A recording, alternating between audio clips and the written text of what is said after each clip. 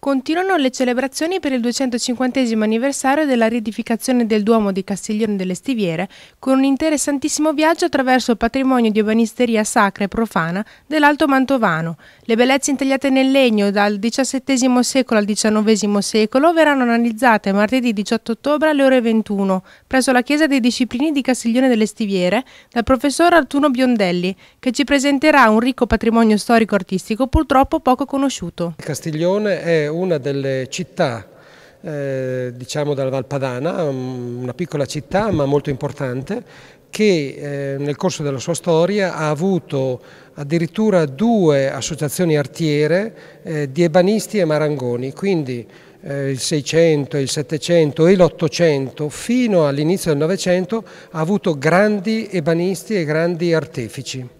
Martedì quindi sarà un evento davvero importante anche per la cittadinanza, per capire quanto sia importante quest'arte. Sì, direi che con l'aiuto del professor Arturo Biondelli, che ha studiato eh, gli arredi, ha studiato, ha fatto molte ricerche d'archivio, eh, credo che martedì si potrà dimostrare, mostrare soprattutto, perché useremo anche molte immagini, si potrà mostrare appunto questo grande patrimonio e cominciare a capire erano, quali erano le botteghe, quali erano gli artefici, eh, quali sono le grandi opere anche ancora presenti sul territorio. Credo che sarà una serata veramente importante.